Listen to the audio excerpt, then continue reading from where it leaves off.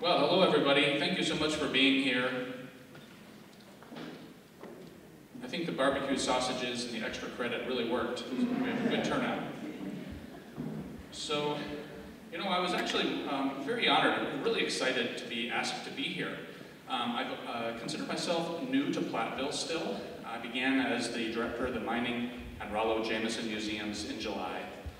And I've uh, just started to meet some people here at the UW Platteville campus. I think Pamela Toss, who introduced me, was uh, one of the first faculty members who I met. She was kind enough to have some senior students from the Sustainability and Renewable Energy Systems program, having some of her students uh, partner with us. Uh, did a lot of wonderful things like convert the mine lighting to LED, uh, prepare uh, the one of the levels of our museum to receive, receive UV film and, uh, and solar filters. I got to met uh, Evan Larson, who's in the room, the geographer. We had some great uh, conversations about geography, um, getting to know some of his students. Uh, Gene Tesdahl, history professor, also has worked very closely with me in the museums in the past. Uh, if you know Garrison Ledbury, who's currently the president of the Sigma Pi fraternity, he is uh, going to be a public history intern for the museum this summer. And of course, Yari Johnson, I have the reclamation uh, department. He'll be working with the museums next year to help us grow and plant some driftless area natives in the new museum garden terrace. Um, Gokul as well, also, we had some great conversations about material science and trying to localize uh, high-tech industry with uh, you know, local produce and, and, way of life on the land. I'm sure we'll have lots of neat conversations uh, in the future. But what's kind of exciting to me about this talk today is that it'll be a little bit different than a lot of the talks I present just for the museum alone, because I'm not going to be talking a lot about super detailed geology or just a lot about mining history, but really I'm going to be kind of dwelling in what uh, Dr. Tesdahl refers to as the borderlands, uh, this sort of frontier space in between the fields of natural science, cultural science, cultural history, science, and industry. Um, and art. Now, actually, um, I have kind of a unique perspective on the Driftless area. I didn't grow up here. I actually grew up in uh, a southern state that will remain nameless, where people get a lot of sunburns and you know it, you have salt water. And so I always, when my grandparents retired to a farm nearby Mineral Point, I thought it was just magnificent with the shady oak trees and the cold freshwater creeks, the watercress in the creeks, the deer, and all the and so uh, for my semi nomadic years, uh, I always came back here. I've been living here several years in a row. Um, I actually, this landscape inspired me to go off and study geology. I did it in Arizona and had a long digression in the mineral industry, um, doing mineral exploration and mining in, in, the copper realm, before finally circling back and uh, studying geology at Tali- uh, studying uh, architecture at Taliesin, the Frank Lloyd Wright School of Architecture. And you may know that this great uh, father of modern architecture has his studio um, in nearby Spring Green and then winters out west in Arizona. So, anyway, this kind of unique perspective, uh, let's call it a romantic perspective on the driftless area, is part of what I'm bringing to some new programming ideas here at the Mining and Rollo Jamison Museum. So, for example, um, this past December, we had the first annual Holiday Mine Sing. And so, in addition to the Platteville Chorale singing Christmas carols inside the museum, we all went underground into the mine, and the men's Cornish chorus sang traditional Cornish songs underground in the mine.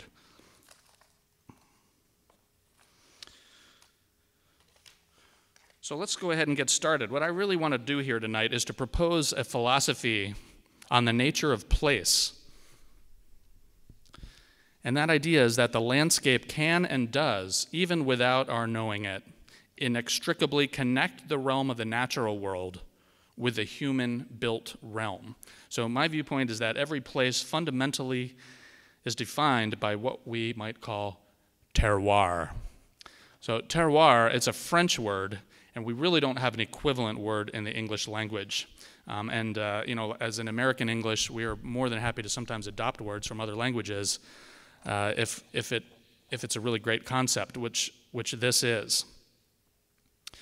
So, terroir is what makes this place distinctive from another. and usually you describe it as being a positive factor. So you don't usually say something has bad terroir or it is a bad terroir. It's only if this is a really good terroir because really great produce grows here. It actually started with the wine industry, and so a, a good terroir is one that positively influences the flavors of the fine wines that are grown and produced within a discrete region. Now, at one time, the taste of terroir was considered to be negative. It was a kind of a gaminess that you would want to overcome. But later and now, terroir is a character that you actually look for in some cases in a wine. And that character is considered to be distinct from the varietal. In other words, it doesn't matter what kind of grape it is or who made the wine, what they care about is where it was grown and produced. And so now, though, that term is not only used for wines, but all kinds of produce uh, like, for example, beers or cheeses in our region, uh, a whole variety of produce. Um, and I find myself expanding the use of that term to describe this local character also in art and in architecture. Except rather than sort of from the forces of nature, we're now dealing with the choices of the designer uh, to purposefully highlight and respond to the physical qualities of place that shape our culture and root our lives here as distinct from somewhere else. So, an example of a work of art that possesses the character of terroir, I might argue, would be the site plan from a portion of Frank Lloyd Wright's Taliesin estate near Spring Green. Um, I'll have some other examples a little bit later. But basically, long story short, the primary factors, factors that define a terroir are number one, bedrock geology. Our bedrock geology, of course, uh, we have a layer cake of this beautiful buff colored limestones, dolostones, and sandstones from Paleozoic time some 500 million years ago.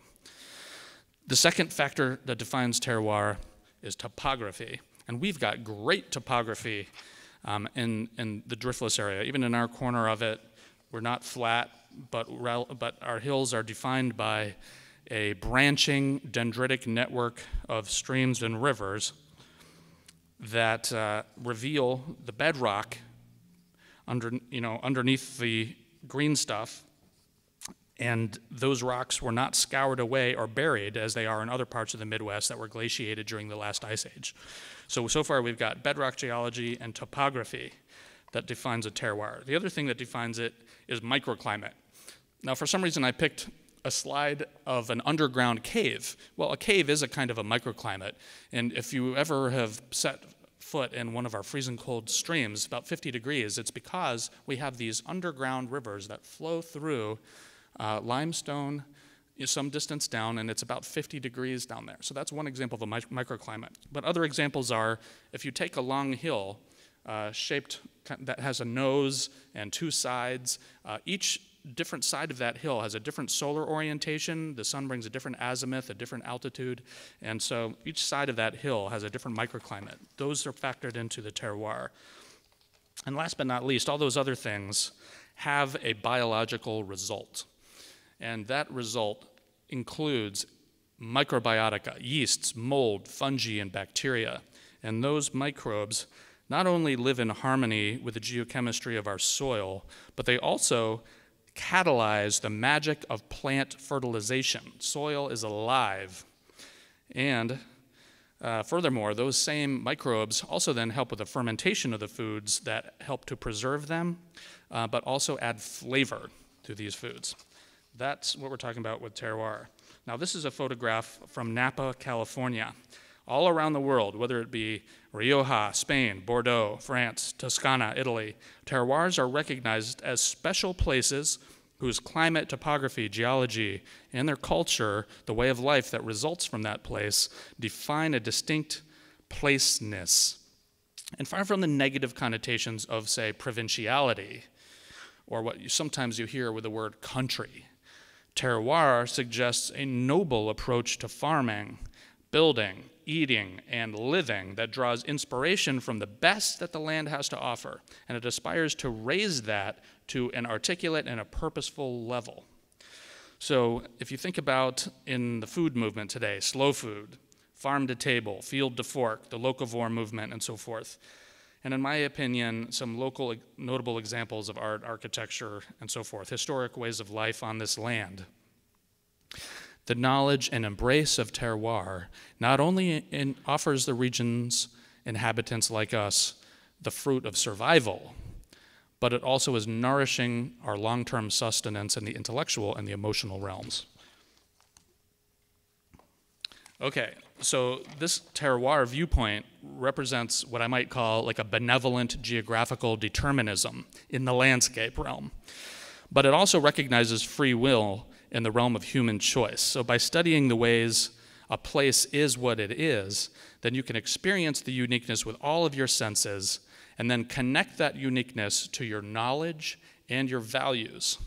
Now, by doing that, people who are creators, people who are the doers, then can have this bottomless source of creative inspiration to inform and heighten this positive experience of life in this sense of place, wherever it may be, including here in the driftless area. Um, if you're a designer, or maybe you've heard this in, in whatever field that you're a part of, if you get design inspiration from biology, they call that biophilia or biophilic design. If you get your inspiration from geology and rocks, they call that lithophilia.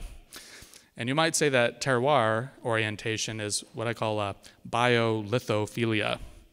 Anyway, I propose that the terroir creators and doers are the farmer, the chef, the scientist, and I include the engineers in there and all the technicians, and the architect. And it's through the focused choices of these, the growers and the winemakers and the cheesemakers and so forth, the beer brewers, they are allowing the place based nuances of the flavor to add character to their work. And similarly, through the choices of the creative architects and artists and so forth, and place oriented scientists or engineers, you're allowing the natural character of a certain place potentially to be developed in your work for the pleasure of all. So let's look at the farmer I don't know if any of you know Gary Zimmer. He is, uh, lives in um, uh, kind of near Lone Rock. They're out in Clyde. And he is the, one of the founders of Midwestern BioAg. Uh, so he sells fertilizer. He's also a really productive farmer, uh, including a dairy farmer. So some of the unique uh, issues that farmers have to deal with here, and I'm, I'm not an, an a farmer by any means or in agriculture, but some of the things that this terroir presents as a challenge to the farmer, for example, is topography. And so, in order to retain the soil, uh, contour farming and the beautiful patterns that we impose upon the landscape is one thing that our terroir calls for. Another thing is soil mineralization. Uh, if you talk to Gary, he's all about trying to develop the life in the soil, those microbes, and so coming up with a whole portfolio of nutrients that don't kill the life in the soil but rather develop it is his goal so that you get crops with deeper roots. Um, and with more vigor and so forth. The farmer also has to be sort of the boots on the ground conservationist, deciding what's going to happen with those wooded draws or those steeper slopes. Um, and uh, they decide what minerals to put on the soil and whether or not those minerals are going to run off then into a waterway or to somebody else's land. So those are some of the, the terroir challenges of certain farmers. Here's another interesting farmer that uh, I, I know, maybe you guys know Andy Hatch of Uplands Cheese. Uplands Cheese, based in uh, Dodgeville, there. He uh, and his wife um, are responsible for making the cheese, and then they have partners who are responsible for raising the cattle and producing the milk. And his cattle, um, they, you know, obviously eat hay in the winter, but when they're eating the grasses and herbs during the season, that's when they use the milk to make the cheese. They only make two kinds of cheese. One when they're eating the, you know, the green grasses and the herbs and the flowers, and that's it. It's the most decorated cheese in the United States called Pleasant Ridge Reserve. And uh, then in the fall, they make a different cheese when they first start eating the cut hay. Now, when you make cheese, then you have whey, kind of a byproduct. And instead of having that be garbage, what they do with the whey now is then they feed it to their their, their pigs. So these are red wattle pigs. And when they're not eating whey, they're also eating things like acorns and apples and so forth. And this is actually kind of similar to what they do over in Parma, Italy. In Parma, they make um, they make the uh, Parma cheese, you know, Parmigiano Reggiano, and then the byproduct of that, they feed to the pigs, and that's where you get prosciutto, that delicious, expensive ham. And so here we've got Andy Hatch making his own driftless prosciutto. Talk about terroir. Okay, this is a little off the wall terroir one. So, in addition to cultivating crops, of course, there's a lot of people who are fascinated with the idea of foraging. And so, native, one of the native plants we have is sumac, um, which makes, uh, if you add it to water, uh, or added to food adds a nice sort of bright citrusy flavor. And then there's uh, a, a, plant called the prickly ash, and its beans or its uh, its fruit is, are referred to as Szechuan peppercorns. So we actually have Szechuan peppercorns and sumac that grow out here. A lot of people don't necessarily eat with it, um, but uh, perhaps we could, and actually, someone, after having read in Voice of the River Valley about um, the nature of sumac and its flavor profile and Szechuan peppercorn, uh, Chocolate in Mount Horeb actually created a Szechuan sumac Dominican dark chocolate bar. And uh, the floral orange flavor of the Szechuan peppers goes really well with the earthy lemon flavor of the sumac. When combined with the tartness of the sumac, the Szechuan pepper flavor becomes wonderfully juicy. In the words of Keith Burrows. So going back here, uh, so we kind of covered the chef and the farmer uh, to some extent. So how about we look at the architect? So there was an interesting uh, doer and thinker named Friedrich Froebel in the 19th century, a German guy who was writing a book on the education of man. And he had been working to pay his bills for a professor at the university, looking at crystals under the microscope to uh, document all the different crystal habits. This was new stuff at the time. So he had to carve all the mineral habits out of blocks of wood. And in doing so, this philosophical guy said, all things in the universe, you know, must sort of relate to this finite number of geometric forms. And so he came up with this idea that children can learn earlier than people used to think they could, and that you could have a school that would be like a garden, not only a garden of students, but a garden for students, and came up with this integrated uh, education system called the kindergarten. And kindergarten was a series of 20 gifts. It was a super rigorous educational uh, technique that began with teaching infants and then younger children and then older children how to see the universe of nature through not through the naturalistic lens of recreation, but rather through abstraction, what he was considering to be a more scientific approach, where you look to the, the deeper reality of the thing through geometry. And so you would work with 3D blocks, and then you'd go into flat tiles, and then sticks, and then curved bits of metal, and then you'd work with thread, and you'd work with cut paper, and, and then you'd work with peas and toothpicks to create framework structures like later Buckminster Fuller would do with geodesic domes and so forth. And only after you learned the vocabulary of nature would you be allowed to have the plastic uh, gift of modeling clay. And not only would you be learning the vocabulary of nature through geometry, but you would be organizing these uh, forms to create beauty patterns on a grid. His was a rectangular grid, a square grid, but, but later practitioners would adapt this to other kinds of grids, hexagonal grids, parallelogram grids, triangular grids, etc. And so that actually inspired some notable American and other international architects, Frank Lloyd Wright included. So here we are actually at Taliesin. We've got um, one of the Hamblin boy, boys looking at a nest of a barn swallow, inspecting their construction technique. Before we get into the modern age, though, you know, the, people weren't thinking so abstractly about a design. They were simply working with materials that were at hand and trying to go for survival. And in this neck of the woods, in the driftless area, one of the ways of life that drew people here was not only the plants and animals, but the rocks and minerals under our feet. And so here we have historian Tracy Roberts. Some of you may remember her from being a lecturer here in recent years. And uh, she is active with the museum as well. And Tracy has uh, done a lot of research on badger huts. So you may know that a lot of our early pioneers were prospectors who were searching for uh, lead and zinc ores, and those are some of the dwellings in the ground that they lived in. And these kinds of subterranean dwellings are part of why, of course, Wisconsin is called the Badger State. Okay, later, a next wave of immigrants, say around 1820s, 1830s, came from Cornwall. Cornwall is uh, where the land ends at the southern tip of Great Britain. And they have been mining tin for 3,000 years and way harder rock than we have here. Was granite. And so uh, when they came here uh, to make their fortunes, the, they brought with them some of their vernacular from, um, from Great Britain. And so they would build some of these log cabins and some of the beautiful rock architecture that you could see if you visit Pendarvis Historic Site in Mineral Point, among other things uh, more local.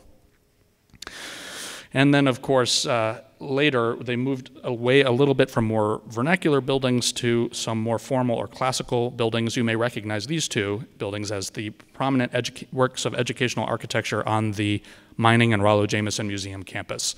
On the right, that beautiful Rock School, which is a twin of Rountree Hall, which is where the state's first normal school was based, and then later the mining school. Uh, that dates back to the 1860s, the brick building from 1905. And then locally, people were using this local bedrock to create more uh, structurally complex buildings, such as this water tower uh, that, that was used in uh, the first sort of 20 years of the 20th century in Mineral Point. Uh, the stonemason, Charlie Curtis, came from Cornwall, and boy, could he cut rock so well that even Frank Lloyd Wright eventually used him to do some work over at Taliesin. Taliesin is interesting. Wright designed it when he came back uh, from Tuscany. And this is a rendering of how the house uh, isn't really built on top of the hill, but rather kind of wraps around the hill, creating a brow. And you can see how not only are some of the native trees integrated into the design, but also the landscape plantings echo the geometries of, of the building. Wright um, could have gone and worked just in Chicago when he had his big practice, but he um, made a choice that was really unusual in his day, which was to build, have his architectural practice out here in the countryside. And so he'd have dozens and dozens of apprentices at a time coming from big cities to move out into uh, the rural driftless area to uh, come up with concepts of urban design, urban planning, based on principles of rural life and better reflecting lo local ways of life. In more contemporary times, there are other biophilic or lithophilic designers uh, this happens to be from Johnson Schmaling out of Milwaukee, but uh, this is in the Blue Mounds area. They call it Topo House. And in this case, they're looking at the soil surface as live structural skin. That's another approach. Uh, here is an example of a gabion, a, a, a kind of a construction technique often used when budgets are low.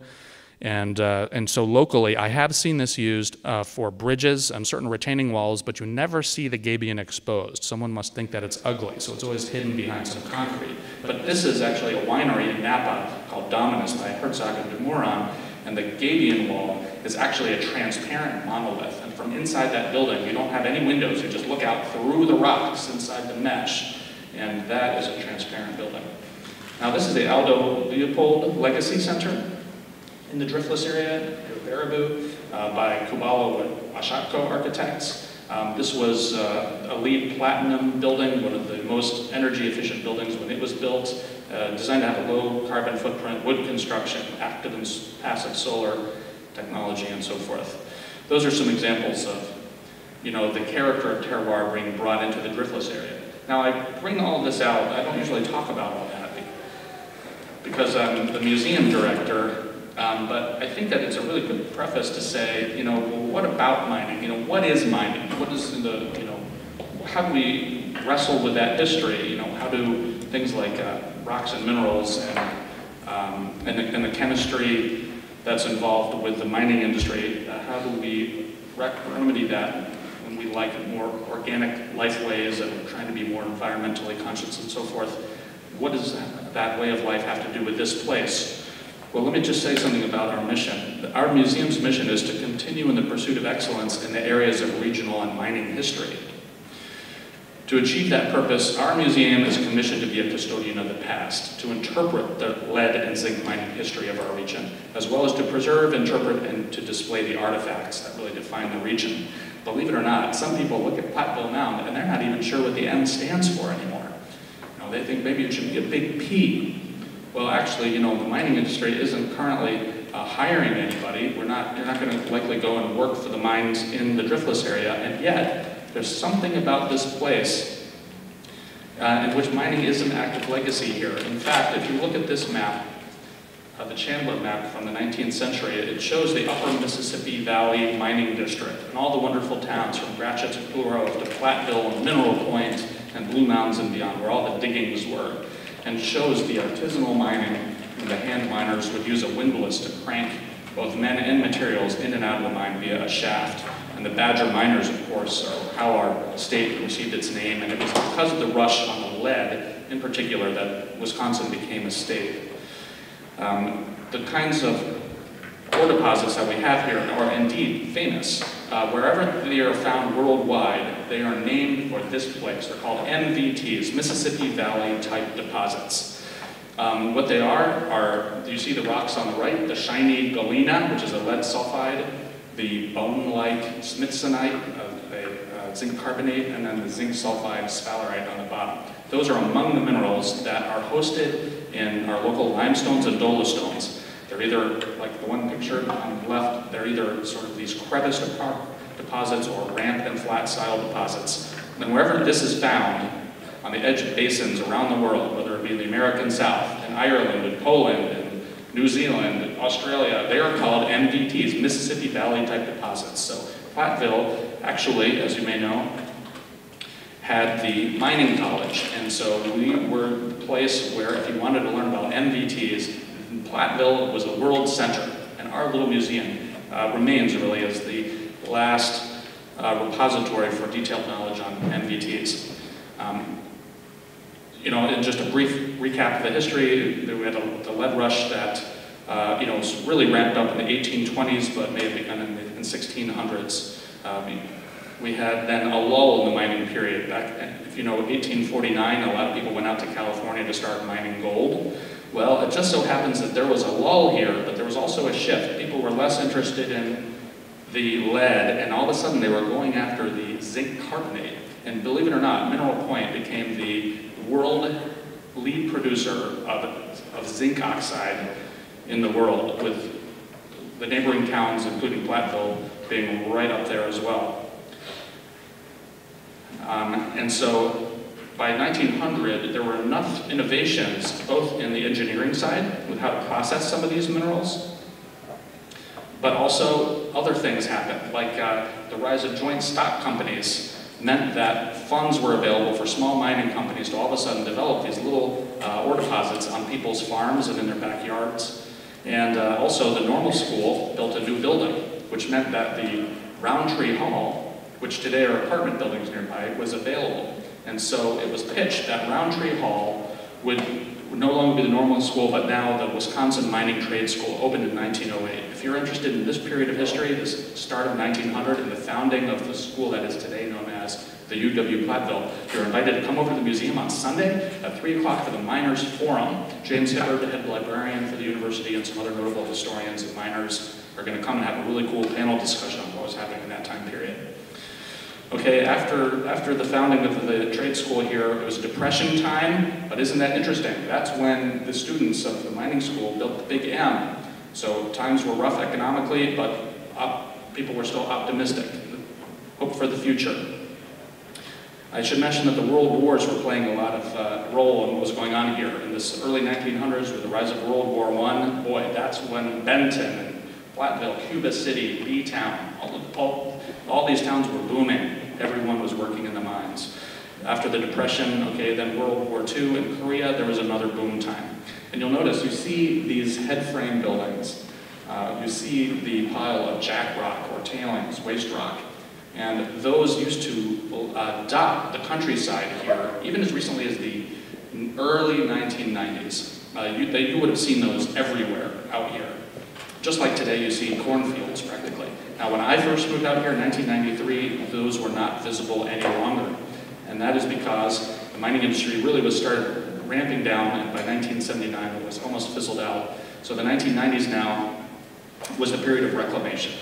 So uh, Yari Johnson his, his, predecessor, you know, would have been part of uh, reclaiming mine sites, and so we realized that part of the life cycle of a mine is not just its discovery and its development, but also its closure and even remediation, reclamation. Some of what we do at the museum is to celebrate, celebrate the miner. So we actually, our job, our mission, is to honor the men and women who worked in the trades connected to the mining industry in the upper Mississippi Valley District and beyond. What we do is provide celebratory space. We provide educational space. We provide educational opportunities and learning opportunities uh, in order to share their story. But even though we are a custodian of the past, uh, you know, we do not consider the museum to be a place where contemporary learning cannot take place. Now, on the contrary, you know, what we are, we are now considering ourselves a science lab, and museums are considered partnering with uh, really everybody in the room to the extent that you're interested uh, to present a contemporary understanding of the driftless area, natural resource development, while we honor these historic perspectives and, and ways of life. We want to partner with different departments to research what Mississippi Valley type ore deposits are. They're still a little bit controversial, poorly understood. How did they form? Why are they distributed where they are? And how can what we know here inform explorers and miners for these ore deposits and other places around the world? Um, we recognize that concepts of reclamation, adaptive reuse, materials recycling, and more are also part of the story that the museum has to offer. Um, and really, frankly, the museum is a living laboratory for sustainability in the context of multiple land uses in the driftless. But we're not only uh, you know, reaching out to miners and, and dwelling in the past, we're reaching out to youth. Uh, one of the most interesting programs we offer is uh, Young Pioneers in July. So if you have children, or you would like to be a child again, you can sign up for Young Pioneers and also College for Kids who are participating uh, in with the UW Platteville for the first time this year. Apparently enrollment in the College for Kids is higher this year than ever before. Could be because of the museum program. Uh, caring for collections uh, is part of what we do. Uh, we've got a large uh, mining museum collection, heavy equipment, uh, bars of lead, rocks and minerals, ore cans, models, dioramas of cross-sections of the earth crust. Those are all founded in the 1960s when the city of Platteville decided to have a municipal museum. Um, then in 1980, we acquired the Rollo Jamison collection, which is more about the rural way of life. And it's a cross-section of the way the average person lived in the pioneering days from the 1850s through the 1970s. And it's been described really as worthy of a Smithsonian Institute. We're stewarding the architecture. You may have seen some building projects in or around the museums, and that will only continue in the years to come. Um, as we seek historic uh, uh, preservation, uh, seek uh, historic, historic status listing on the state and federal registers of historic places, for example, stewarding our architecture above ground and below. Because as you may or may not know, in the backyard of the museum is an 1840s lead mine underground, which you access via 90 steps with a brand new stainless steel handrail from last year. And we offer guided tours May through October, today being May 1st, the first day we reopen. We'll be open daily, often offer tours four times a day. And tours include a complimentary train ride on a 1931 mine train through the beautiful outdoor museum campus. Built in 1978, the local Optimists Club helped to raise the funds and the museum staff built the railroad by hand. Some of, some of our uh, summer workers, if you become a tour guide or an intern at the museum, some people actually get to work on the railroad as part of their job, which is a lot of fun.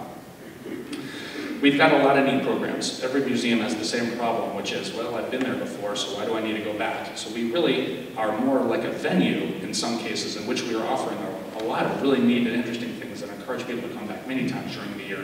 You may have known that back in January, we brought back a, a, a much-loved Platteville tradition of the Miners' Ball, except instead of just being engineering students who put together a great dance, um, this was all for the community. We had 150 people turn out.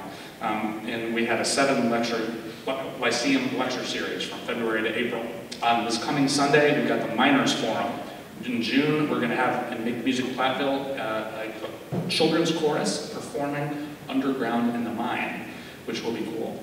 Heritage Days on July 4th is a big block party where six or 700 people come to the museum. We have a community picnic, live music, games, historic games in the backyard.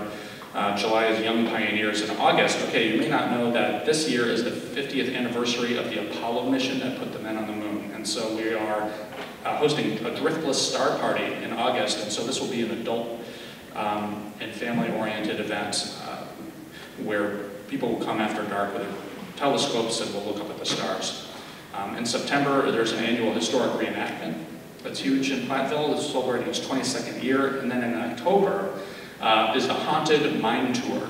And so I highly recommend that everybody comes for the Haunted Mine Tour at Halloween. Um, last year, the Sigma Pi fraternity uh, served as the ghosts. And so very uh, sweet, nice, friendly, uh, friendly, non-scary ghosts.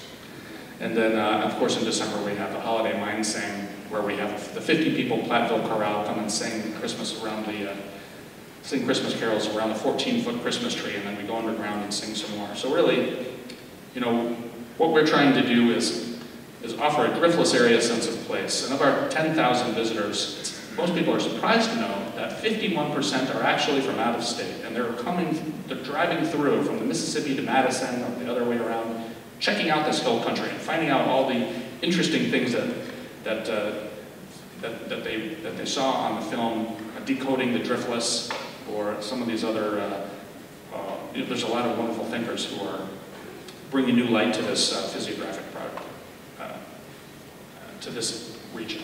Excuse my stutter. So there you have it. That's the end of my presentation. Does anyone have any questions?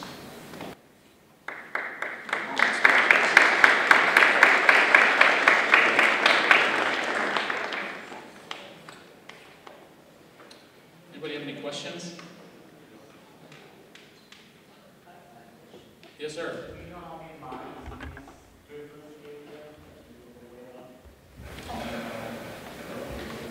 They are almost countless. Um, there are definitely hundreds, and many of them have been mapped. Most of them have been mapped. And uh, for different thesis projects, some of them have then been digitized, and then now the Regional Planning Commission, who has the office here in Platteville, does make that shapefile available to the public.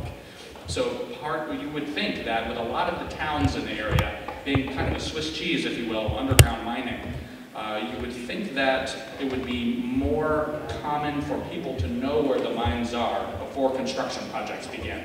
But interestingly enough, that's not necessarily so. So one of the first things that we're doing is uh, making sure that, for example, because we're a municipal museum with the city of Platteville, able to offer to the public information on where known underground mines are, just so that when construction projects begin, sometimes, you know, a wheel of a heavy machinery falls in the hole, et cetera, uh, or you have a sinkhole on your property and so forth.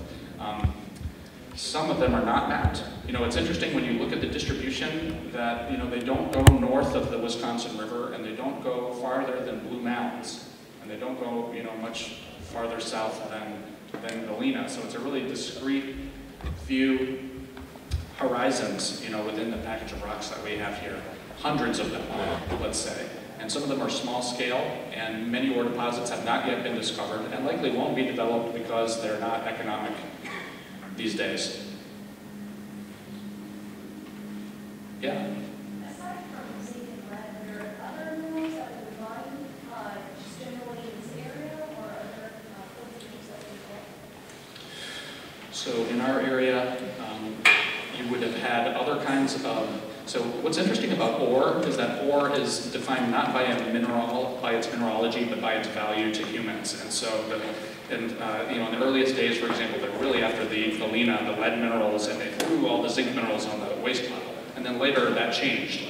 And so uh, we, so people were not after other kind of commodities other than just those, but other beautiful minerals that are found along with them, for example, would be calcite. Um, there was, in some cases, some copper carbonates, you know, malachite, azurite, and so forth uh, in the small area in the Mineral Point area. Marcasite, some hematite, you know, so some of these would be um, pretty rocks or interesting rocks, but they were not considered uh, prized for their economical purposes.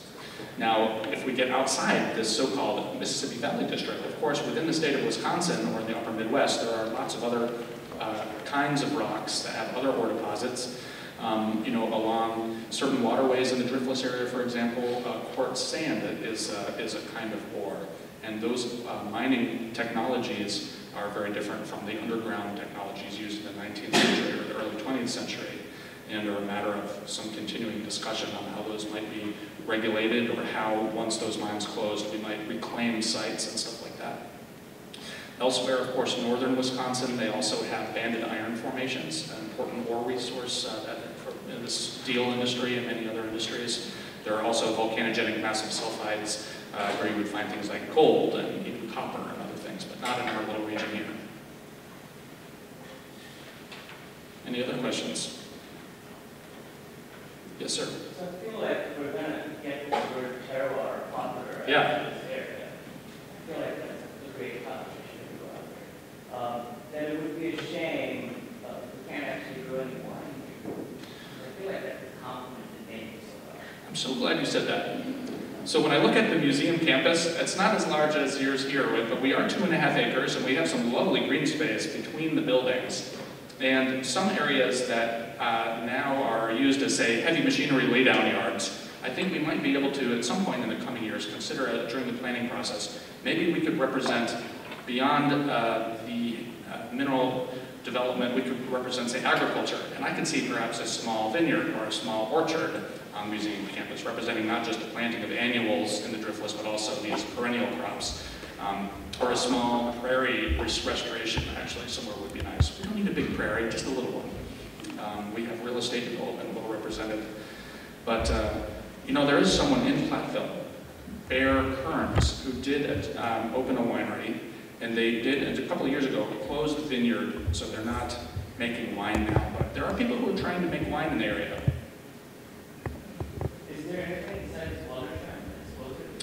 Botham is a little closer. Botham makes decent wine. They are closer to um, Bloom, uh, to Barneveld, and a nice winery to tour. The people are nice. You know, it's the problem is that with the cold weather, you know, it's hard to. Every winemaker bringing a certain percentage in from Finger Lakes or you know out west somewhere like that. They're only growing a little bit on, on their estate, um, and the, and the architecture is you know still developing, I think, you know, as we find, we understand the terroir better, we'll bring more terroir character into the wineries. Yeah. Yes, yes aware of any special group that come all together to do some hunting of vehicles in the mine? Like a hobby? Yes, there are in Wisconsin hobbyists who go out looking for fossils or, or other pretty rocks of some kind or another. Some go prospecting, uh, hoping for to make economic gain, and sometimes they're called rockhound groups. And we don't have a local rockhound group right now that I'm aware of. If they do, they fly under the radar. But maybe it would be fun to start one. And so if, if we did, you know, I might be interested in joining that group. I also want to carve out a space on the museum campus where we could have a lapidary studio for people who want access to a rock saw. Because if you find a really great rock, sometimes the best way to see its beauty is to saw it and to polish the cut side. And so we need a polishing wheel and uh, rock saws.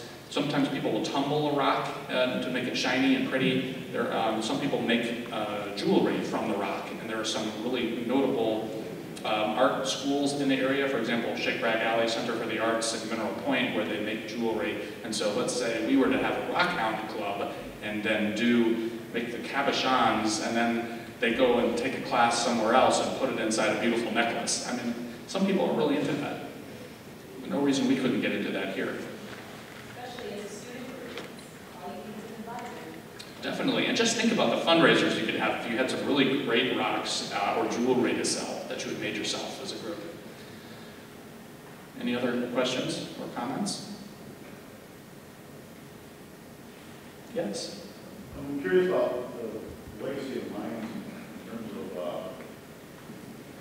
uh, social environment, that, you know, for example, um, things like, uh, people going to work every day, and like there's stories about past weeks and things like that. I'm also thinking in terms of, uh, you know, there's a lot of, I guess, accidents, death would um, families, coal mine for time. Um, do we have any studies like that on? I'd like to see more, more of those kinds of studies. And one thing that's different about these underground mines from coal mines is that it was less hazardous. They didn't have the kind of off-gassing, uh, or they didn't have the black lung problems. Uh, it was just that mineralogy is different enough that the problems were different. One thing is that these mines were damp. I don't know enough, and I'd like to learn more about what kind of microbiota are found underground, and is it nice to have that in your lungs all the time? You know, I live in kind of in a 1850s miner's cottage, uh, and I feel like sometimes I wonder if, you know, that's really good for my lungs, and so you think that surely underground there are problems. And when they were drilling with a pneumatic drill, it would create dust, but the, the drill bit would be lubricated with water, and so that dust was kept down. So it wasn't a lot of particulates floating around. If anything, you would have to be in probably mud, you know, or water on the ground sometimes would be an issue.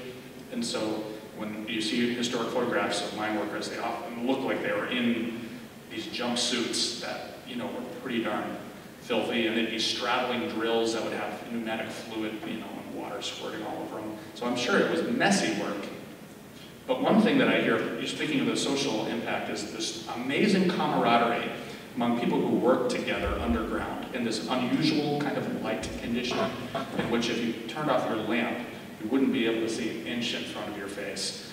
And uh, you know, you know how they would access the mines, you know, even as recently as the 1970s in some cases, um, would be via a hoist. It would be a bucket, an iron bucket, which uh, multiple guys would go in and to at once, say six guys at once, with one leg in and one leg out.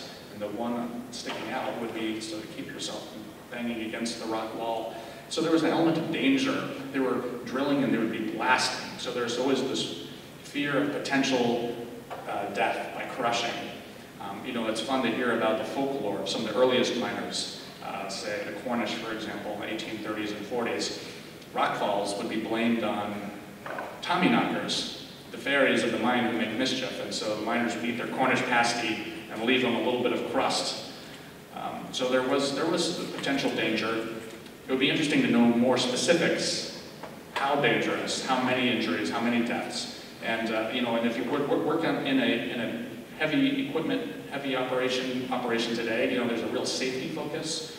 You wear your personal protective equipment, your hard hats and your eye protection and your, your steel toes and all that kind of stuff. And I was just looking at a stock certificate from a mine here in Platteville awarded in 1920 that was praising a certain company for the number of, you know, no injuries on their site. So I think there people were at an early age, at an early, relatively early date, trying to minimize human injuries and, and deaths because it wasn't good for business, no, it wasn't good for the town. You were working with your friends and loved ones, so people were looking after each other.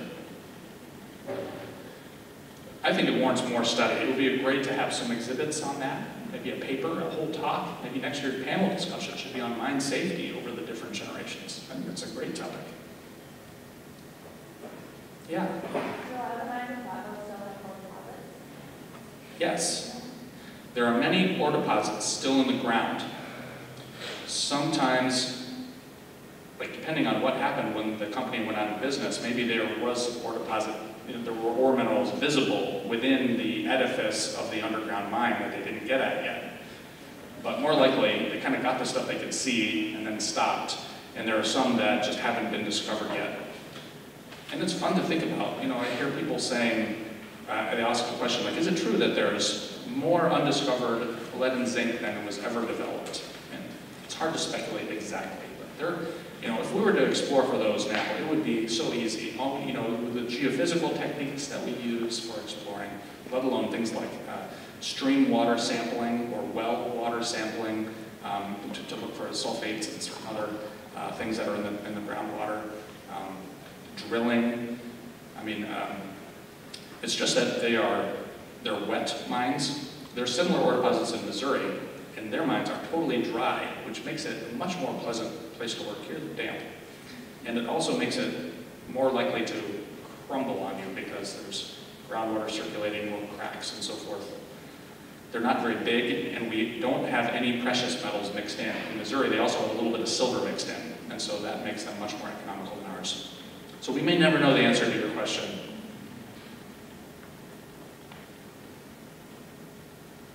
Anything else? Well, I'll, I'll stick around and I'm, uh, I'll be happy to answer any more questions and love, love to meet you. Also, may I just uh, share an open invitation to come and visit us at the um, museum sometime. You're welcome to come by, even if you don't uh, buy a tour, browse the gift shop. Um, we've got great programs like uh, Haunted Mine Tour, you know, in, in October. Please feel free to come by sometime when your schedule allows. Yes, sir. Because I asked my son to volunteer, volunteer opportunity. Great. Great. Love to see your, love to see your son. Thanks for having me.